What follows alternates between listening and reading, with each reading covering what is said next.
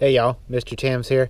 This is a review of the Garden Weasel uh, Weed Popper. Uh, what this does is simply it attacks things like that. That's a big old dandelion um, that I've got in my yard and in fact got a big yard full of them here.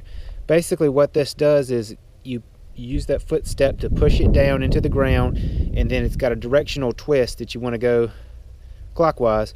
You twist it around one good time and then you'd pull up and it uh, it pulls it out without you having to bend over. You get the whole root because these roots can be really really substantial. I'll give you a uh, quick show on this one here. You can see I got it right in the middle here I've got a soft, pretty soft yard, so it's pretty easy for me. I'm gonna bring my foot in here and push it down. And let's see here. I'm gonna give it a twist. You can see how the whole plant's moving. All right, and at this point it'll stand up by itself.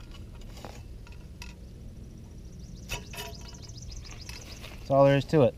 Now, it is leaving this hole. There is a hole there there is a that's the downfall. There's a big plug of dirt right here and then there's a hole. So uh, I can come back and I could step on that and crush the sides in and it's not going to leave too bad of a of a uh, divot there and that'll fill in over time. But the thing is when you start considering all these dandelions I got in my yard that I'm going to be out here working on just when I walk around in the evening that can make quite a mess out here. Um, I can actually show you over here.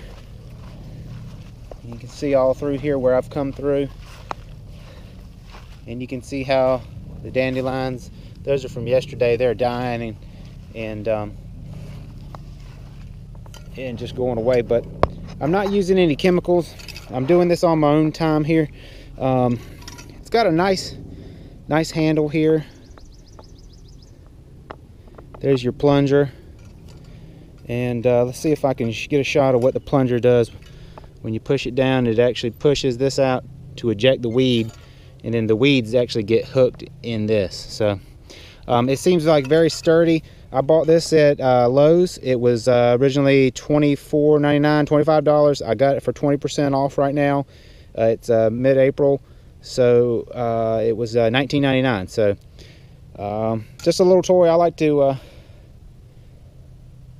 play with out here in the yard. Y'all got any questions or comments, give me a shout. Thank you.